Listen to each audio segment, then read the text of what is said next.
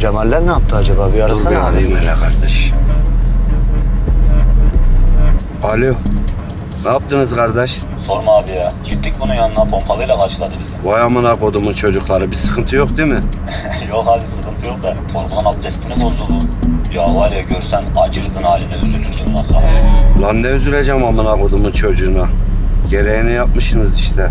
Elinize sağlık Cemal Baba. Eyvallah abi. Görüşürüz Allah'a emanetsiniz. Görüşürüz kardeş. Baba şu radyoyu aç be. Allah be en sevdiğim şarkı. Bir gelir geçer bir geceden bir geceye.